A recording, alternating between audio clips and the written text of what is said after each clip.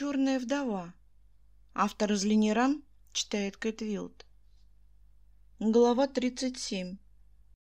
Приглашение к разговору.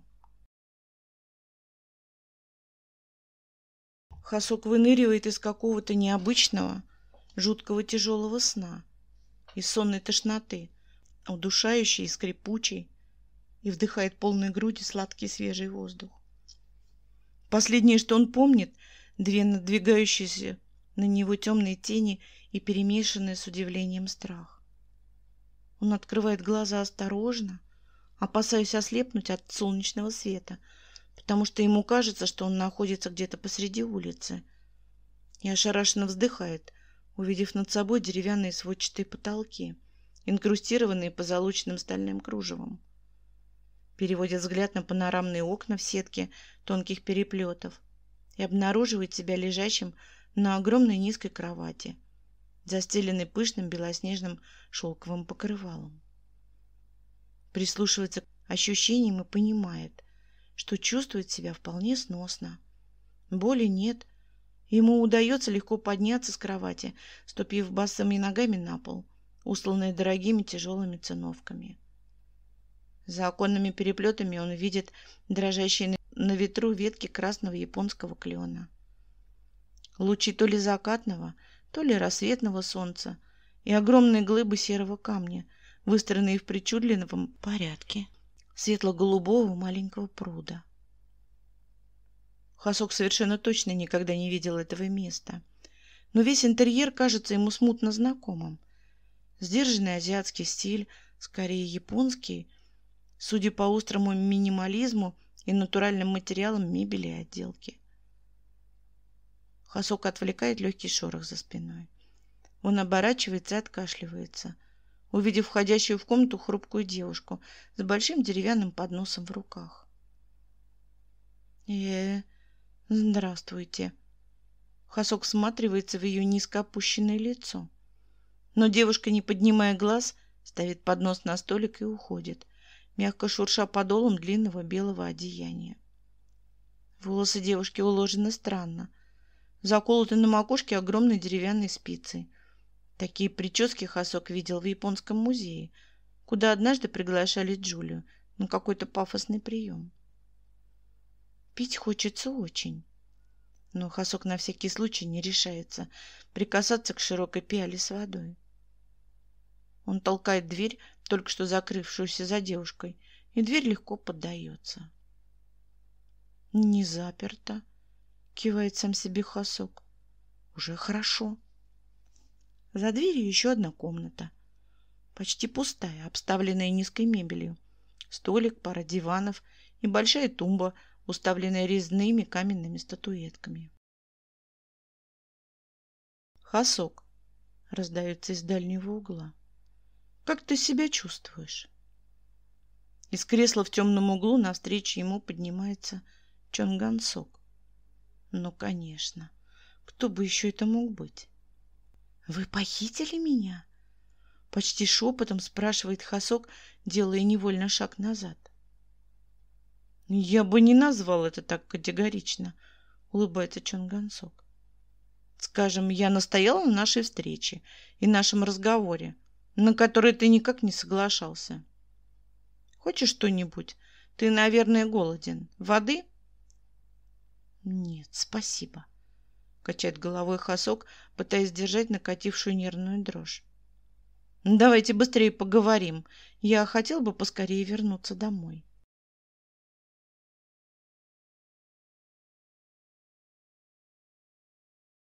Прекрати истерить! Джихон прижимает Джулию к себе и кивком указывает нам Джуну на шкаф, в котором, как он знает, есть аптечка. «У нас все под контролем!» «Я так и думала!» У Джулии уже нет сил кричать. Она только прерывисто вздыхает, и по щекам ее нескончаемым потоком текут прозрачные капельки слез. «Я думала, что у вас все под контролем. Мы договаривались, что Хасок, боже, мой мальчик, где он сейчас?» Как ты мог оставить его одного, Намджун?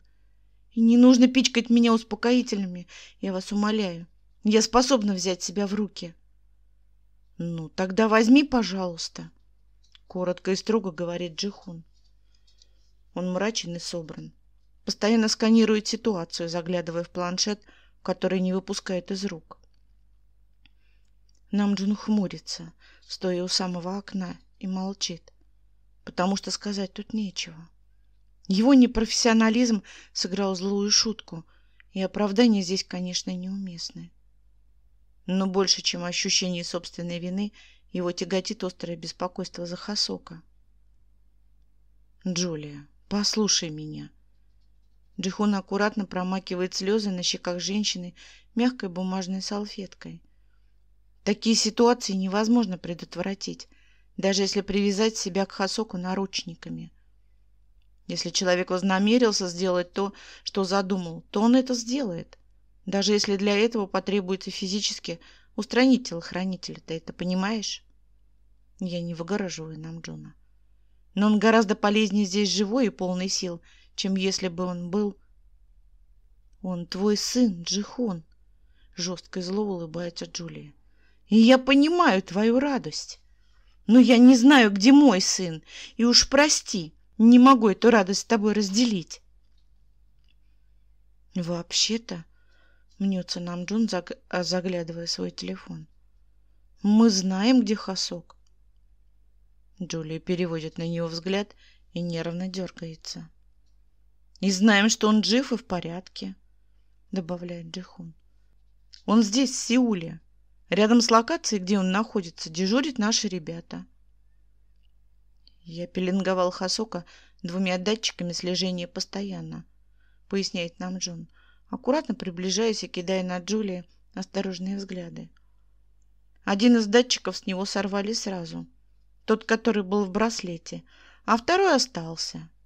Он впаян в замок на его цепочке и постоянно считывает информацию о его состоянии и передает систему. Судя по показаниям этого датчика, Хасов в порядке, и мы знаем, где он. «Тогда почему он до сих пор не здесь?» — скрикивает Джулия зло. Ее крик прерывает остро звяканье лифта. «Вот!» — вбегает в квартиру Чимин и протягивает нам Джону записку. «Оставили внизу администратора, просили передать Джулии». Следом за ним входит встревоженный Чунгук Тэхён и Йонги. Проходит в комнату и молча садятся на диван. Я не причиню ему вреда. Ты же знаешь. Читает Джихон, развернув записку. Это Гансок. И я не сомневалась. По щекам Джулии слезы начинают катиться с новой силой. Оперативная группа уже рядом с тем местом, куда он увез Хасока, кивает нам Джон, снова заглянув в телефон. Ждем разрешения. Как только полицейское управление получит его, сразу же начнется штурм. Я хочу поехать туда. Джулия вырывается из рук Джихуна и хватает сумочку с низкого столика. Ты не остановишь меня, Джихун, и не пытайся. И не просто попытаюсь, и я остановлю. Мягко, но твердо удерживает ее за плечи Джихун. Тебе там делать нечего. Я просто должен знать, что ты в безопасности. Туда поедем мы с Намджуном. Мы вооружены и имеем опыт в таких делах.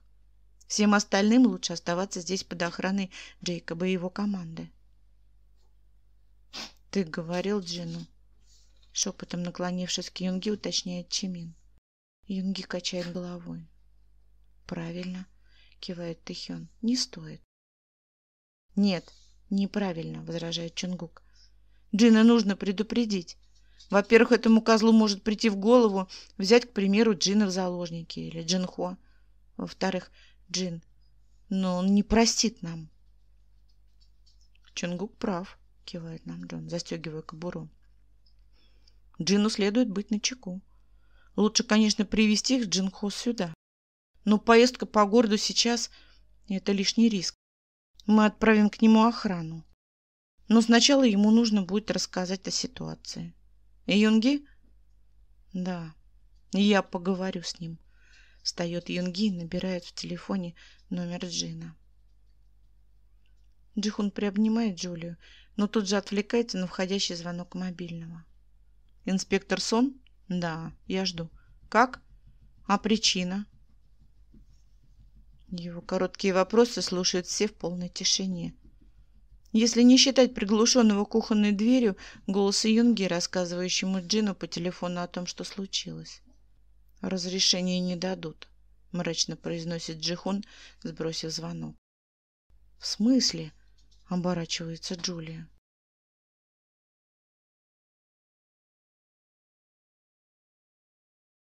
«Мальчик мой!»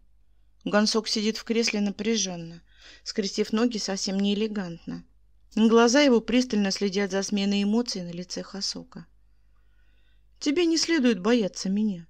Я не причиню тебе вреда». «Вы похитили меня. Вырубили какой-то дрянью», — усмехается Хасок. «У меня есть довольно много оснований вам не доверять, не считаете?» «Это была вынужденная мера», — качает головой Гонсок.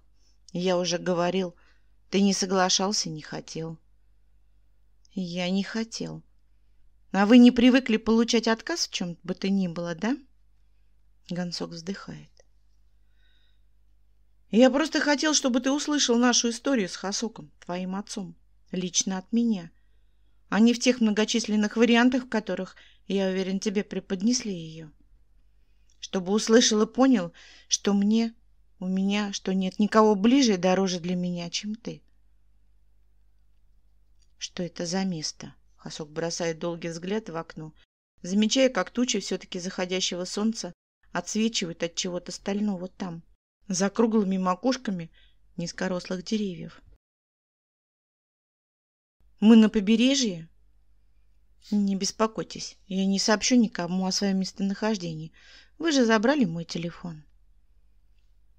«Просто небольшое имение моей семьи, летней резиденции, скажем так уклончиво отвечает Гонсок. Ты выслушаешь меня? Хасок качает головой. Вы освободите меня? Гонсок встает и подходит к окну. Долго смотрит туда, где покачиваются рыжими ветками деревья, а потом оборачивается. Прости, но нет. Я долго ждал этой минуты, долго выслеживал момент, когда ты останешься один, и я просто не могу упустить такой шанс. Хотя бы сообщите моим близким, что со мной все в порядке, пыхивает Хасук. Мама с ума, наверное, сходит. Джулия тебе не мама. Голос Гансока холодеет. И я уже отправил ей сообщение. Они знают, где ты. Судя по тем автомобилям, которые же час дежурят за оградой поместья. Хасук от этих слов становится легче. Хорошо. «Давайте поговорим», — сдается он. «С чего вы начнете?» «О вашем знакомстве с отцом я уже наслышан. Можете не пересказывать. Мне только непонятно, зачем я-то вам? Отец умер, его больше нет, а ко мне, насколько я понимаю, вы не имеете никакого отношения». «Это не так». Гонсок сжимает пальцами подлокотник кресла, который снова садится, приглашая кивком Хасока сесть рядом. Хасок садится напротив и чувствует непонятное волнение. Наверное, услышать всю историю от первого лица – это уникальная возможность, но он почему-то боится этого. «Я очень хорошо помню твой день рождения», – начинает рассказ Гонцок. «Возможно, это последнее, что я помню из той истории». Это был мой последний день в должности генерального директора южнокорейского филиала Chon Financial Group. Твой день рождения был моим последним днем в должности. Я слышал немного иную версию. Мне говорили, перебивает его Хасок. Хотя, честно сказать, не понимаю, зачем мы вообще это обсуждаем. Вот поэтому я и пригласил тебя сюда. Гонцок проводит рукой по волосам немного нервно. Достает из нагрудного кармана прозрачную баночку с таблетками и закидывает одну в рот, запивая водой. Мы с Хасоком долго планировали это. Планировали заранее. И мне нужно было просто довести один проект и уйти с должности. Так мы решили, продолжает он, помолчав. Мы не собирались расставаться. Мне больно слышать, как ты говоришь, что я не имею к тебе никакого отношения. Ты должен быть и моим сыном тоже. Хасок хмурится. Этот человек, сидящий напротив, говорит спокойно, и его слова трогательны и искренни. Но все равно рядом с Гансоком Хасока не покидает ощущение назревающей опасности. Когда родители поставили мне условия, или семья, или Хасок, я, не задумываясь, выбрал Хасока, продолжал мужчина. Я любил его, я до сих пор люблю его. И до сих пор всегда выберу его. Понятно, что я начал пороть горячку, кричал, что я уйду из дома. Пришел к Хасоку, рассказал ему, но он меня успокоил. Он сказал, что семья — это важно, что пусть улягутся и утихнут эмоции, и что мы пока можем встречаться тайно, чтобы никто об этом не знал, а потом посмотрим. Гонсок закрыл ладонью лицо и покачал головой. Когда я вспоминаю, думаю о том, сколько переживаний, сколько грусти и боли испытал Хасок из-за наших отношений. Из-за всех этих проблем, связанных с моей семьей, мне становится тошно. Наверное, мне следовало тогда поступить по-другому. Не поддаваться на уговоры родителей, не прятать Хасока от мира, а гордо заявить о нашей с ним любви. Но у родителей был на меня ощутимый рычаг давления. Моя правда могла стоить всей семье бизнеса. Отец не уставал повторять, что на мне лежит ответственность за будущее нашего рода, нашей фамилии. Родители начали планировать мою свадьбу. Невесту мне нашли какую-то из богатой семьи. Мне все это не нравилось жутко, но Хасок только смеялся. Все говорил, что, может, я передумаю. Вон какие у меня открываются перспективы. А потом случился скандал. Кивает Хасок, вспоминая рассказ ректора Кима. А потом случился скандал, вздыхает Гонцов. Когда СМИ начали растаскивать по всем каналам подробности моей планируемой помолвки, я не знал, как Хасоку в глаза смотреть. Но он говорил, чтобы я не расстраивал родителей, и смеялся.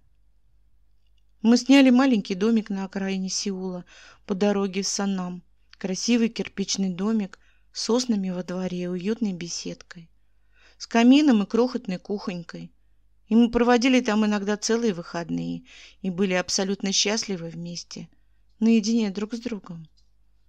Мы строили планы, размышляли о том, как усыновим ребенка, как будем воспитывать его вместе. Мы мечтали о том, как однажды Хасок поведет нас с тобой в долгий многодневный поход, и мы облазим все окрестные горы.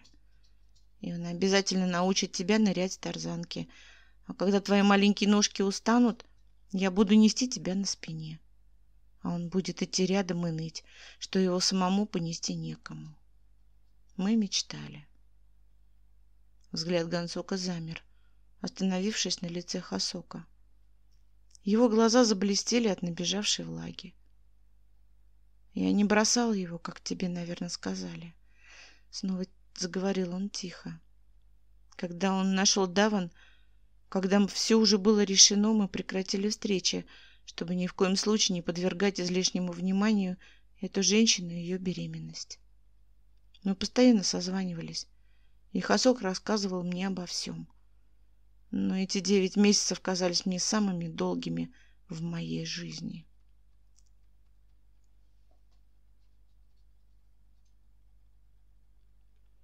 Такой тишины в квартире Хасока не бывало, даже когда она еще стояла совсем пустой. Слова Джихуна о том, что разрешения на штурм того дома, в котором сейчас Гансок удерживает Хасока, не будет, прозвучали, как гром среди ясного неба. «Почему?» — хрипло спрашивает Джулия, и руки ее дрожат. «Они не запретят мне войти туда и забрать моего сына. Никто не запретит. Я подниму на уши оба посольства. У меня есть связи. Я... Этот дом — старинная императорская вилла, резиденция японских правителей. А у Японии и Кореи, сама знаешь, отношения довольно напряженные до сих пор. говорит Джихун. Его побледневшее лицо внушает еще больше ужаса, чем те слова, которые он говорит. Легкое звяканье лифта отвлекает внимание присутствующих в комнате, и Йонги, появившись из кухни, проходит в прихожую. Через минуту он пропускает комнату Инджи и Квон Йона. «Ого!» — оборачивается Чимин. «А он что здесь делает?» «Предлагает свою помощь, Пак Чимин», — хрипло отвечает Джи Йон и усаживается на диван рядом с Юнги. «Побольше уважения». «Спасибо», — кивает Джулия. «Жаль, что приходится знакомиться в такой напряженной ситуации. Но нам сейчас пригодится любая помощь. Продолжает Джихун. Должен же быть какой-то выход». Мало того, что этот объект охраняется ЮНЕСКО, разводит руками Джихун, так он находится еще под юрисдикцией Японии. Является имуществом японского императорского рода. Этот мерзавец Гансок отпрыск старинного рода, ведущего свои корни от императора Гунара Тамахита. Любое вторжение на эту территорию приведет к вооруженному политическому конфликту. Так мне сказал инспектор Сон. «Что это за место?» – интересуется Квон Джи Йон, заглядывая в планшет, который держит в руках Джихун. «А, это вилла императора. Знаю. Мы как-то попытались добиться разрешения для съемок клип в тех местах. Там очень красиво. Но нам не разрешили приблизиться к имению. Что же делать? Сплескивает руками Чимин. Мы ничего не можем. Нам бы сейчас очень пригодились связи в японской императорской семье. Но у нас таких нет, качает головой Джихун. Вообще-то Вдруг подает голос Инджи. Есть. Да, Мин Юнги.